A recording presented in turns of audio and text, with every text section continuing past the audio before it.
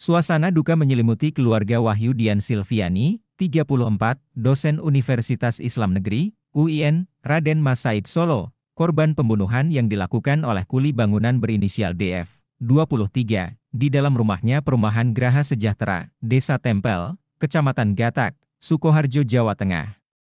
Ibu dan ayah serta adik-adik korban tidak kuasa menahan kesedihan, meski mereka mengikhlaskan saat jenazah Dian dosen UIN tewas masuk ke dalam liang lahat.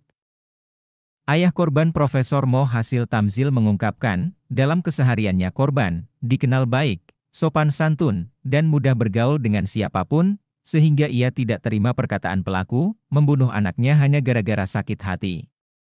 Si pelaku katanya sakit hati gara-gara dikatain dengan kata yang tidak wajar.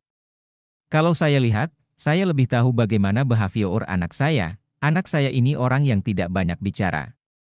Kalau muncul kalimat bahwa dia marah gara-gara dikatain kayaknya tidak. Kini Tamzil berharap pihak kepolisian terus melakukan penyelidikan dan tidak percaya sepenuhnya dengan pengakuan pelaku pembunuhan dosen UIN tewas. Ia menduga pelaku merupakan orang suruhan dari seseorang. Selain itu, ayah korban menuturkan, sebelum pembunuhan yang terjadi pada anaknya itu, korban sempat menceritakan apa yang sedang dialaminya di Solo.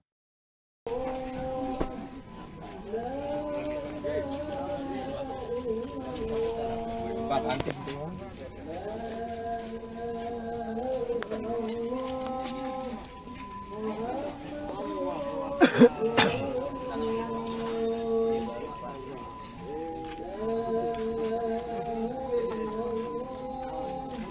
Terus, terus, terus.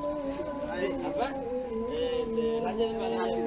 Ini bagian dokumentasi nih Pak.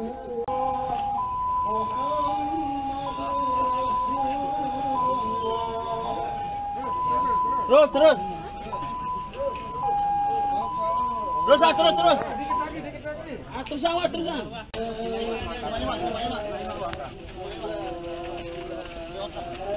Ini otak nih. Ini apa dulu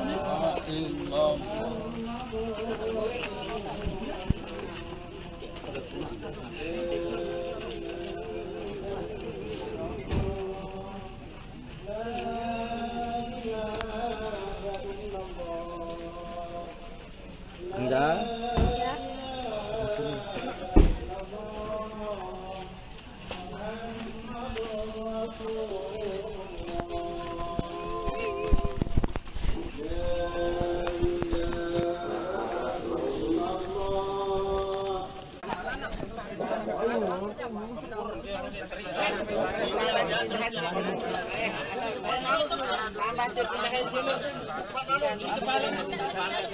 tanahnya